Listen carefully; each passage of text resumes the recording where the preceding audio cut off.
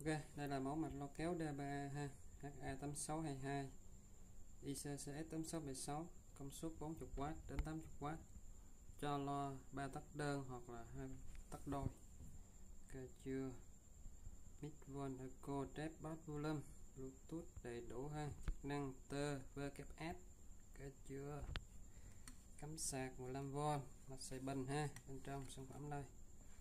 Rồi, hai ngõ ra lo, đây một bát, một chép, bát này, chép này cơ chưa này lắp bình, micro không dây, đây, micro không dây 5V đây.